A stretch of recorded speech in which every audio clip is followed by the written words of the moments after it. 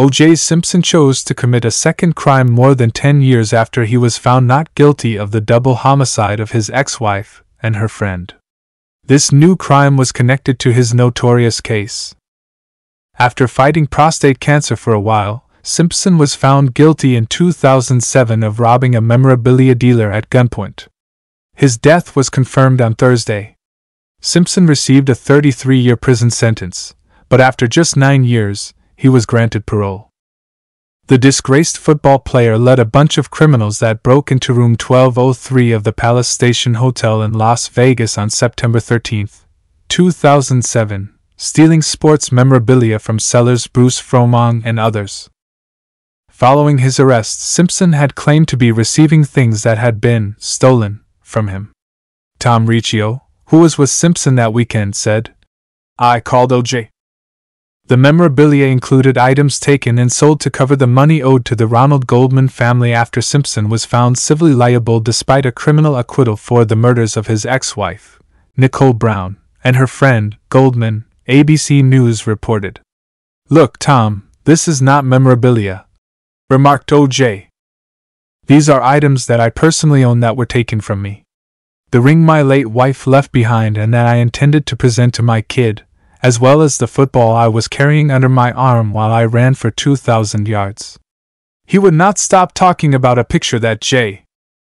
Edgar Hoover had signed, in which the man had said, I was a big fan, a fine young man.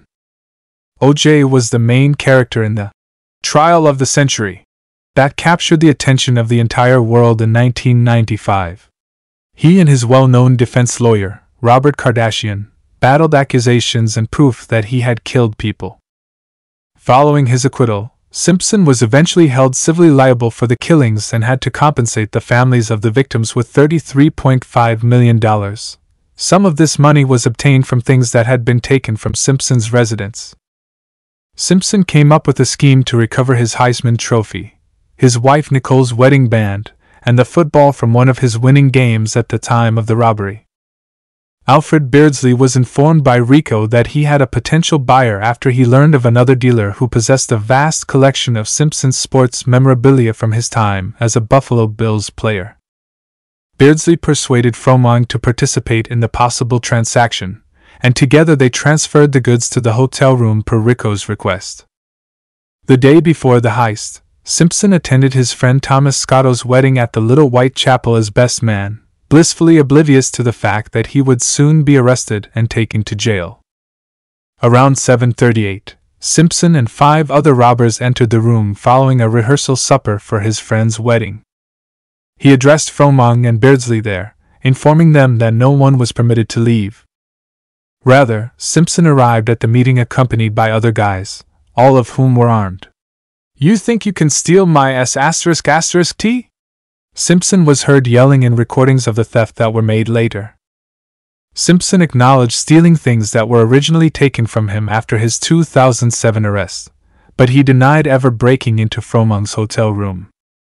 His collaborators grabbed his artifacts, including autographed baseballs from Pete Rose and lithographs of Joe Montana, as he was doing it. Simpson's accomplices were apprehended as well Walter Alexander, who carried a gun to the robbery, received a probationary term. Another accomplice, Clarence Stewart, was given a 15 year prison term but was later freed after accepting a plea bargain. Probation was imposed on Ryan Braun and Charles Nilich, while probation was also imposed on Michael McClinton, the fifth robber who brought a gun and videotaped the entire operation. Simpson was given the harshest punishment possible 33 years in prison, after being found guilty of the heist. Fromong stated that he had long since forgiven Simpson for the deed 10 years after the heist. After learning that Simpson would be granted parole later that year, Fromong, then 63, remarked, It's just too bad we didn't talk it out. None of this would have occurred if he had just said, Everyone out, me and Bruce are going to talk, in the hotel room parole commissioners decided to release him based on his release plans, community support, lack of past conviction, and minimal likelihood of committing a crime. Before the hearing ended, Fromong stated that one of the individuals who was with the former football star did point a gun at him during the altercation.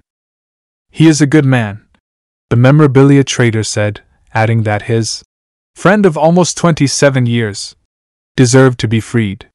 He erred in judgment. Froment had brain damage from a series of heart attacks he had shortly after the crime. He lost everything and was forced into bankruptcy. He had before admitted to the Sunday Mirror I could have died that night. All they had to do was squeeze the trigger, and I would have been gone.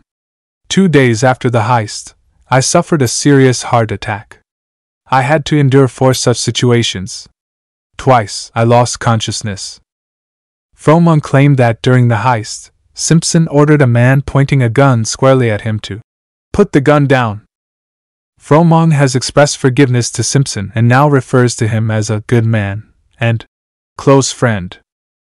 As he has done throughout the more than hour long parole hearing, Simpson adamantly maintained that his goal was to recover property that rightfully belonged to him, and that he had no intention of hurting anyone. He said that throughout the crime, he never threatened anyone or waved a gun at them. I've served my time. Inmate number 1027820 stated, I've done it as well and respectfully as I think anybody can. Soon after the crime, a number of photos surfaced that showed Simpson partying at nightclubs with his ex girlfriend and her friend. Pictures from the event included the juice, as his pals lovingly refer to him, toasting with champagne in the rear of a stretch limo while clutching the bride's bouquet. Simpson passed away on Thursday.